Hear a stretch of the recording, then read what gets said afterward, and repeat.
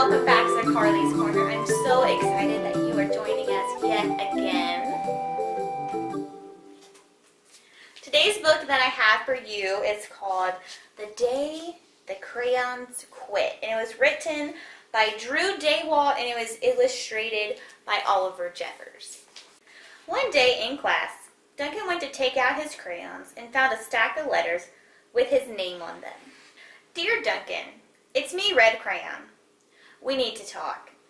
You make me work harder than any of your other crayons. All year long I wear myself out coloring fire engines, apples, strawberries, and everything else that's red. I even work on holidays. I have to color all the Santas at Christmas and all the hearts on Valentine's Day. I need a rest. Your overworked friend, Red Crayon.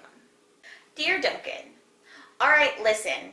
I love that I'm your favorite crayon for grapes, dragons, and wizard's hats, but it makes me crazy that so much of my gorgeous color goes outside the lines. If you don't start coloring inside the lines soon, I'm going to completely lose it. Signed, your very neat friend, Purple Crayon. Dear Duncan, I'm tired of being called light brown or dark tan, because I'm neither. I'm beige and I'm proud. I'm also tired of being second place to Mr. Brown Crayon.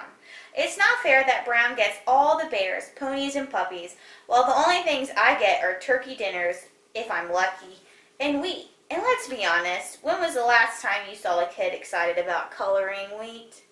Signed, your beige friend, Beige Crayon. Duncan, Gray Crayon here. You're killing me. I know you love elephants, and I know that elephants are gray, but that's a lot of space to color in all by myself. And don't even get me started on your rhinos, hippos, and humpback whales. You know how tired I am after handling all of those things? Such big animals. Baby penguins are gray, you know. So are very tiny rocks, pebbles. How about one of those once in a while to give me a break? Signed, your very tired friend, Gray Crayon. Dear Duncan, you color with me, but why? Most of the time, I'm the same color as the page you were using me on, white. And if I didn't have a black outline, you wouldn't even know I was there. I'm not even in the rainbow. I'm only used to color snow or to fill in empty space between other things. And it leaves me feeling, well, empty. We need to talk. Signed, your empty friend, White Crayon. Hi, Duncan. I hate being used to draw the outline of things. Things that are colored in by other colors, all of which think they're brighter than me. It's not fair when you use me to draw a nice beach ball and then fill in the colors of the ball with all the other crayons. How about a black beach ball sometime? Is that too much to ask? Signed, your friend, Black Crayon. Dear Duncan, as Green Crayon, I'm writing for two reasons. One is to say that I like my workloads of crocodiles, trees, dinosaurs, and frogs. I have no problem and wish to congratulate you on a very successful Coloring Things Green career so far. The second reason I write is for my friends, Yellow Crayon and Orange Crayon, who are no longer speaking to each other. Both crayons feel they should be the color of the sun. Please settle this soon because they're driving the rest of us crazy. Signed, your happy friend, Green Crayon. Dear Duncan, Yellow Crayon here.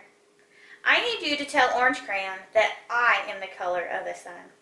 I would tell him, but we are no longer speaking. And I can prove I'm the color of the sun too. Last Tuesday, you used me to color in the sun on your Happy Farm coloring book.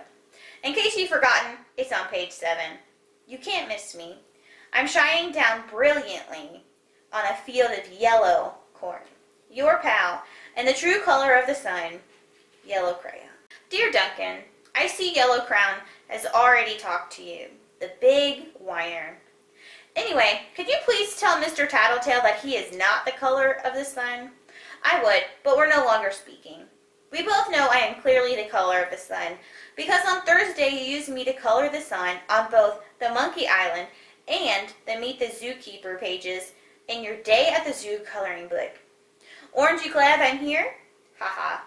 Your pal and the real color of the sun, orange crayon.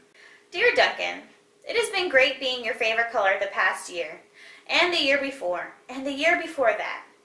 I have really enjoyed all those oceans, lakes, rivers, raindrops, rain clouds, and clear skies. But the bad news is, is that I'm so short and stubby I can't even see over the railing in the crayon box anymore. I need a break. Signed, your very stubby friend, Blue Crayon. Duncan. Okay, listen here, kid. You have not used me once in the past year. It's because you think I'm a girl's color, isn't it? Speaking of which, please tell your little sister I said thank you for using me to color in her Little Princess coloring book. I think she did a fabulous job of staying inside the lines. Now back to us. Could you please use me sometime to color the occasional pink dinosaur or monster or cowboy? Goodness knows they could all use a splash of color. Signed, your unused friend, Pink Crayon. Hey Duncan, it's me Peach Crayon. Why did you peel off my paper wrapping? Now I'm naked and too embarrassed to leave the crayon box. I don't even have any underwear. How would you like to go to school naked? I need some clothes. Help. Your naked friend, Peach Crayon. Well, poor Duncan just wanted to color. And of course he wanted his crayons to be happy. And that gave him an idea. When Duncan showed his teacher his new picture, she gave him an A for coloring and an A plus for creativity. I hope you guys enjoy this fun little book today.